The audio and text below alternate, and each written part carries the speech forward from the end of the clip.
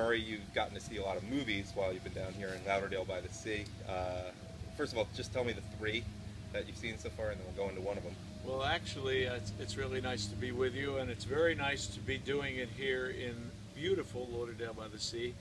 As some folks who maybe listen to my show Murray Go Round might know, I'm usually talking about either politics, literature, movies, or current events, whatever fits your fancy. But today I think your idea is a good one. Let's talk about We're on vacation. some of the good movies. And I think actually there are four that are out right now that would be worth seeing. Well, Murray, keep in mind Yeah. we do each one has a different segment, so let's All keep right, those well, spaces there. I want to talk about Bridge of Spies. I want to talk about Brooklyn. I want to talk about Spotlight, and I want to talk about Trumbo.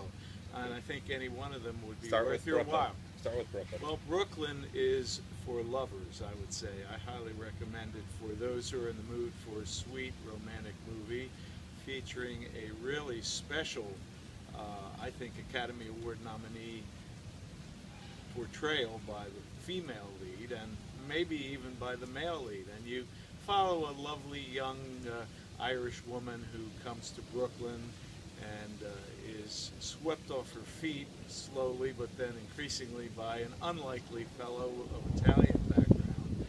And uh, because there was a of, time when Irish Italian wasn't such a common com- common combination. I saw it so many times. Well, that's right. It's, it's a little bit odd to begin with, and there's some fun scenes where the two cultures are mixing, including uh, watching the heroine learning how to eat spaghetti and trying to do so with the Italian family. When does it take place? Uh, I think it's taking place. I would, I, we should know, and I'm going to say in the 40s would be my guess. At any rate, there's a funny scene where the mother says, "Boy, you eat spaghetti so lovely. How did that happen?" She said, "Oh, I've been taking lessons." So that was one cute little memo. But in the end, she has to go back to uh, the home country because of problems at home, and she's possibly being drawn into another romance. And so there's a little bit of tension as to will she stay in Ireland or will she go back to Brooklyn. It's a beautiful, it's a small movie. It tugs at your heart, and I really highly recommend it.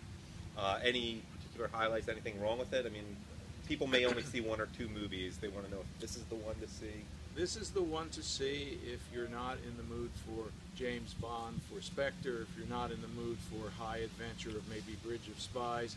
It's a small, sweet, romantic movie. It's a great date movie. Well, guys earn points with the potential? You know, uh, if they bring her to this, can they earn points this way?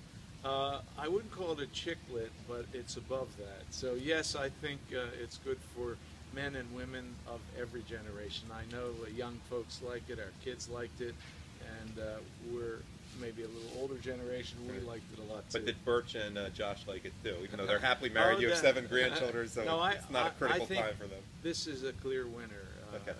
This will be a, a 90 plus Rotten Tomatoes type movie. And who are the actors everyone. in it? I can't say the names of any of them. I don't know Okay, their then they're names, probably not too important. Well, the, the woman is is is kind of bursting onto the scene. I can't even say pronounce her name. Something like Cerise. Um, maybe your dad knows. Not important, unless it's a big name actor. Okay, you can stop now.